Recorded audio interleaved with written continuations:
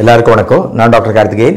இன்னைக்கான வீடியோவில் இந்த மங்கு அப்படின்னு தமிழில் சொல்லக்கூடிய ஆங்கிலத்தில் வந்து மெலாஸ்மா அப்படின்னு சொல்லுவோம். ஸோ இந்த மெலாஸ்மா அப்படிங்கிறது இதுதான். இப்போ பார்த்தீங்கன்னா இந்த இந்த தோலுக்கும் இந்த தோலுக்கும் நம்மளால டிஃப்ரென்ஸ் பார்க்க முடியுது இல்லையா? ஸோ இங்கே ப்ரௌன் கலரில் சின்னதாக கொஞ்சமாக ஆரம்பிக்கக்கூடியது. கொஞ்சம் கொஞ்சமாக பெருசாகி அதுக்கப்புறமா இந்த க கண்ணம் ஃபுல்லாக வரலாம். இல்லைன்னா பிரிட்ஜ் ஆஃப் த நோஸ்ன்னு சொல்லக்கூடிய மூக்கு பகுதியில் வரலாம். அப்படி இல்லைன்னா நம்ம ஃபோர்ஹெட் நம்மளோட நெற்றி பகுதியிலையும் வரலாம். சின் பகுதி தாடை பகுதி இந்த இடத்துலையும் வரலாம். ஸோ இப்படி வரும்போது இது ரெண்டு பக்கமும் ஈக்குவலாக இருக்கும். அந்த ப்ரௌன் கலர் தோலோட மாற்றம் அப்படிங்கிற கலர் மாற்றம் அப்படிங்கிறது ரெண்டு பக்கமும் ஒரே மாதிரி இருக்கும். ரெண்டு பக்கமும் இப்படி வரும். இல்லைன்னா மூக்கில் ரெண்டு சைடு இப்படி வருது. இல்லைன்னா தா தாடை பகுதி இங்கே வருது.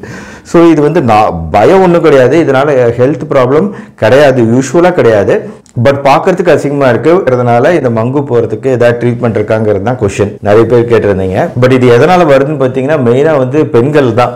பெண்களில் வந்து தொண்ணூறு சதவீதம் மங்கு வந்து வரது வந்து பெண்களோட முகத்தில் தான் அதிகமாக வருது. அது மெயினாக வரதுக்கான காரணம் ஈஸ்ட்ரஜன் ப்ரொஜெஸ்ட்ரான் அப்படிங்கிற அந்த ஹார்மோன் பேலன்ஸ் கம்மியாக இருக்குது மெயின் அதுலேயும் பார்த்தீங்கன்னா பெண்களில் வந்து கர்ப்ப காலத்தில் தான் அதிகமாக நம்ம இந்த மங்கு ஸ்டார்ட் ஆகிறத பார்க்க முடியும். ஏன்னா அந்த சமயத்தில் தான் மாறுபாடுகள் ஜாஸ்தியாக இருக்கும். கர்ப்ப காலத்தில் மட்டும் இல்லை வயதானவங்களுக்கு இல்லை சில சமயம் டீனேஜில் கூட வந்துடும் வந்துச்சுன்னா பார்க்கறதுக்கு கொஞ்சம் அசிங்கமாகவே இருக்கும். ஸோ அப்போ அதை போக வைக்கிறதுக்கு என்ன வழி? அப்படிங்கிறத பார்ப்போம். Welcome to our channel doctor Karthikeyan so கர்ப்பகாலம் இல்லாமல் வேற என்ன கண்டிஷனில் வரும்னு பார்த்தோம்னா ஓசிபி பர்த் கண்ட்ரோல் பில்ஸ் ஏதாவது நம்ம மாத்திரைகள் கர்ப்பத்தடை மாத்திரைகள் ஏதாவது கருத்தடை மாத்திரைகள் சாப்பிட்டுட்டு இருக்கோம் அப்படின்னா ஸோ அந்த மாத்திரைகள்னால ஹார்மோனல் இம்பேலன்ஸ் ஏற்படலாம்.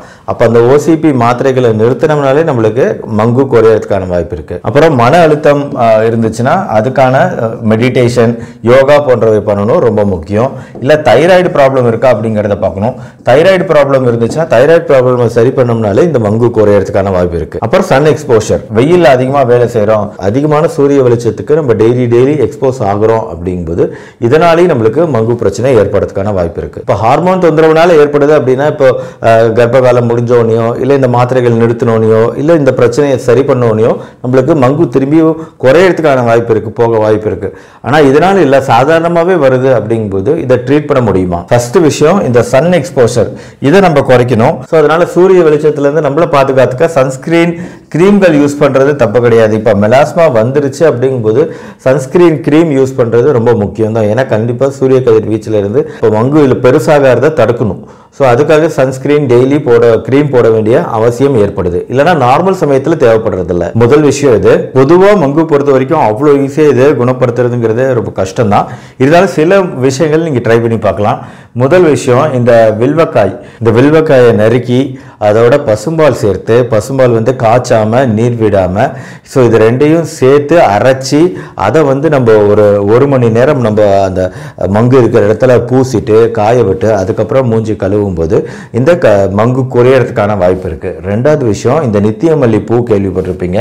இந்த நித்தியமல்லி பூவோட இலைகள் இதை இலைகள் ஒரு ஐந்து இலைகள் எடுத்து கூட வெண்ணெய் சேர்த்து இது ரெண்டையும் நல்லா அரைக்கணும். வெண்ணெய் இல்லைன்னா பால் ஏடு ஏதாவது ஒன்று போட்டு நல்லா மசிச்சு அரைச்சி எடுத்துக்கிட்டு அதை வந்து நம்ம வந்து அந்த மங்கு இருக்கிற இடத்துல பூசிக்கிட்டு நைட் கூட பூசிட்டு படுத்து தூங்கிட்டு காலையில் எந்திரிச்சு அதை கழுவிட்டு அதுக்கப்புறம் அந்த இடத்துல ஆயில் மசாஜ் மாதிரி ஏதாவது ஆலிவ் ஆயில் போட்டு அதை மசாஜிங் மாதிரி பண்ணணும்னா அப்போ வந்து நம்மளுக்கு இந்த மங்கு குறையறதுக்கான வாய்ப்பு இருக்குது மூணாவது ஒரு டீஸ்பூன் கசகசா ரெண்டு வேப்பங்கொட்டை ஒரு அஞ்சு துளசி இலை இது எல்லாத்தையும் நல்லா போட்டு த- வேப்பங்கொட்டையெல்லாம் நல்லா உடச்சி தூளாக்கி இந்த ட- கசகசா ஒரு டீஸ்பூனு அஞ்சு துளசி இலை எல்லாத்தையும் போட்டு மிக்ஸ் பண்ணி நல்லா அரைச்சி அதுக்கப்புறம் அதை பாசிப்பருப்பு மாவோட கலந்து ஒரு பேஸ்ட் மாதிரி ஆக்கி அந்த பேஸ்ட்டை மங்கு இருக்கிற இடத்துல தடவிக்கிட்டு ஒரு ரெண்டு மணி நேரம் தடவிக்கிட்டு அதுக்கப்புறமா கழுவினோம்னா இந்த மங்கு குறையறதுக்கான வாய்ப்பு இருக்குது. நாலாவது இந்த சோறு வடித்த அந்த கஞ்சி நீர் இருக்கு பார்த்தீங்களா கெட்டியாக அந்த கஞ்சி நீர் எடுத்துக்கிட்டு அதில் மஞ்சத்தூள் கலந்து வெண்ணெய் கலந்து அதை மிக்ஸ் பண்ணி கெட்டியாக பேஸ்ட் மாதிரி ஆக்கி அதை நம்ம மூஞ்சில் அப்ளை பண்ணினாலும் அதுவுமே மங்கு குறையிறதுக்கு ஹெல்ப்ஃபுல்லாக இருக்கும். அடுத்து லாஸ்ட்டாக ஐந்தாவது வீட்டு முறை வந்து இந்த திப்பிலி. இந்த திப்ளி வந்து நாட்டு மருந்து கடையில் கிடைக்கும். இதை வாங்கி பொடி லேசாக வறுத்து பொடியாக்கி கூட வந்து தேன் சேர்த்து தேனை குழைத்து அந்த பொடியில் குழைத்து அதை வந்து அப்ளை பண்ணிவிட்டு ஒரு ரெண்டு மணி நேரமாவது அது ஊற வச்சுருக்கணும். இது மாதிரி ஊற வச்சுட்டு அதுக்கப்புறம் கழுவும் போதும் நம்மளுக்கு மங்கு குறையிறதுக்கான வாய்ப்பு இருக்குது ஸோ இந்த ஐந்து முறைகளும் வீட்டிலேயே நம்ம ட்ரை பண்ணி பார்க்கலாம். பட் வீட்டு வைத்திய முறைகள்லாம் கேட்கல அப்படிங்கும்போது நம்ம தோல் டாக்டர் வந்து சில விதமான டெக்னிக்ஸை உங்களுக்கு சில ட்ரீட்மெண்ட்ஸ் கொடுப்பாங்க. இதில் என்ன பண்ணுறாங்கன்னா ட்ரீட்மெண்ட்டில் மெயினான விஷயம் என்னென்னா இந்த தோல் எவ்வளோ தூரம் ஆழமாக இந்த தோல் இன்வால்வ் ஆயிருக்குங்கிறத பொறுத்து இந்த தோலோட மேல் லேயரை ரிமூவ் பண்ணுறது தான் இந்த டெக்னிக்லாம் ஒன்று கெமிக்கல் பீலிங் முறையில் அதை ரிமூவ் பண்ணலாம். இல்லைனா டாப்பிக்கல் ஸ்டீராய்டு க்ரீம் கொடுத்தோம்னா அந்த லேயர் மட்டும் ரிமூவ் ஆகி ஸ்கின் லைட்டன் ஆகும். இல்லைனா டர்ம் அப்ரேஷன் அப்படிங்கிற ஒரு டெக்னிக் இருக்குது இந்த டர்ம் அப்ரேஷன்லேயும் வந்து நம்ம அந்த தோ- அந்த மேல் தோல் வந்து நீக்கப்படுது. ஆனால் இது வந்து ஒரு லாங் டேர்ம் நிரந்தர தீர்வாக இருக்குமானா சொல்ல முடியாது. ஏன்னா திருப்பி மெலாஸ்மா வராமல் மங்கு வராமல் இருக்குமான்னு கேட்டால் அதுக்கும் நம்ம கேரண்டி கொடுக்க முடியாது. அதுதான் ஒரு ப்ராப்ளம் ஆனால் இந்த மாதிரி சில சிகிச்சை முறைகளும் இருக்குது மங்கு பொறுத்த வரைக்கும். ஸோ மங்கு பொறுத்த வரைக்கும் வீட்டு வைத்திய முறைகள் சொல்லிட்டேன். டாக்டர்கிட்ட போனால் கிடைக்கக்கூடிய ட்ரீட்மெண்ட் முறைகள் பற்றி சொல்லிட்டேன்.